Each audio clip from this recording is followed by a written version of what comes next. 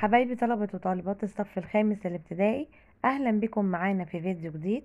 النهاردة هناخد مع بعض درس اسمه العلاقات الغذائية بين الكائنات الحية. بتربط الكائنات الحية وبعضها علاقات غذائية.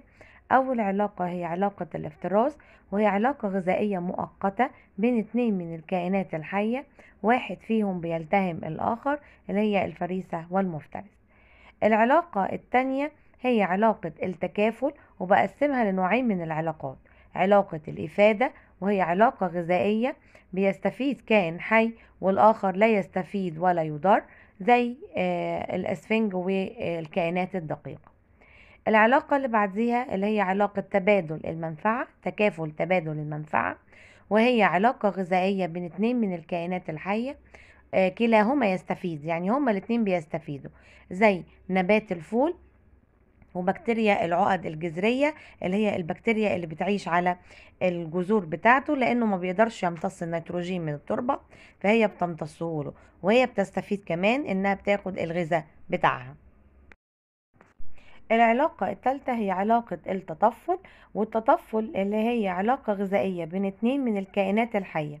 واحد بيستفيد وبسميه الطفيل والآخر يضر وبسميه العائل والعائل عادة بيكون الإنسان. آه عندي نوعين من التطفل تطفل داخلي وتطفل خارجي. التطفل الداخلي زي الدودة اللي إحنا شايفينها اللي هي الاسكارس ودودة البلهارسيا والدودة الشريطية.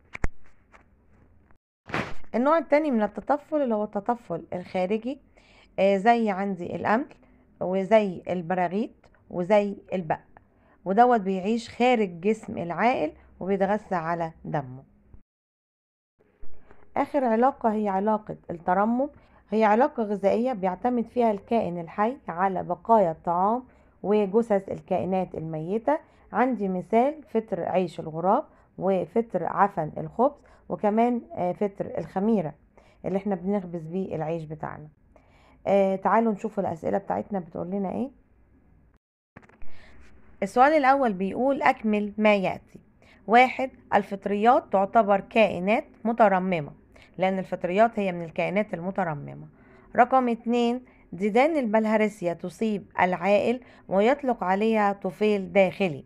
لأنها بتعيش داخل جسم العائل وبتتغذى على غذائه المهضوم.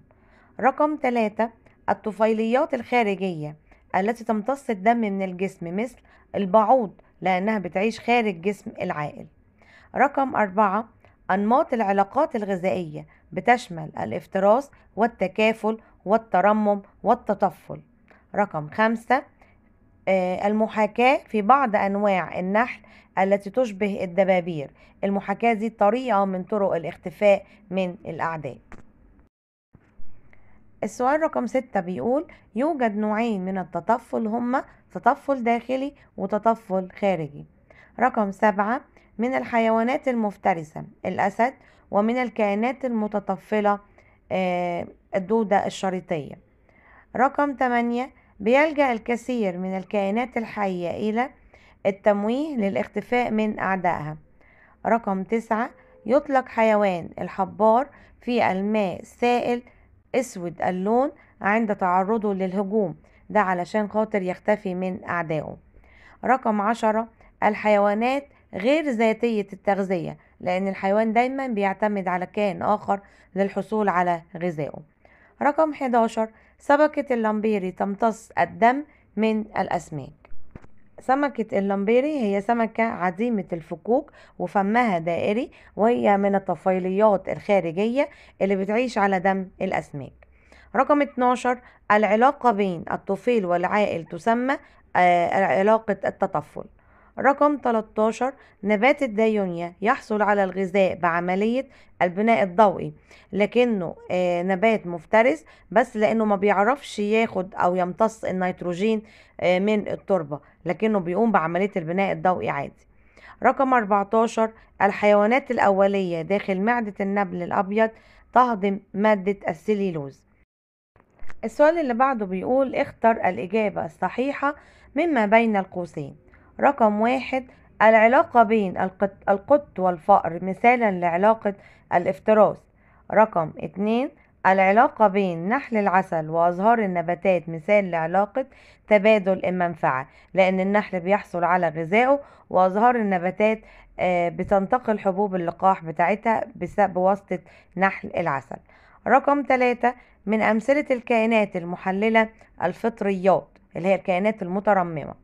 رقم أربعة بتحصل النباتات على الطاقة من طبعا ضوء الشمس لأنها المصدر الأساسي للطاقة.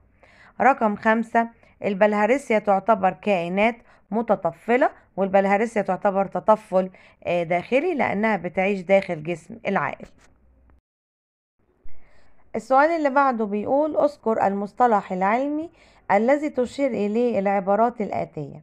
واحد علاقة مؤقتة بين نوعين من الكائنات الحية تنتهي بالتهام إحداهما للآخر طالما علاقة مؤقتة دي علاقة الافتراس زي الأسد والغزالة.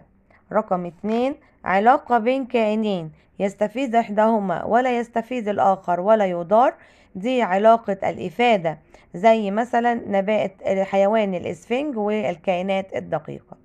رقم ثلاثة علاقة بين كائنين يستفيد فيهما كل منهما من الآخر يعني هما الاتنين بيستفيدوا دي تبادل منفعة آه، زي نبات الفول وبكتيريا العقد الجذرية. رقم أربعة كائنات حية تقوم بتحليل الكائنات الميتة دي كائنات مترممة.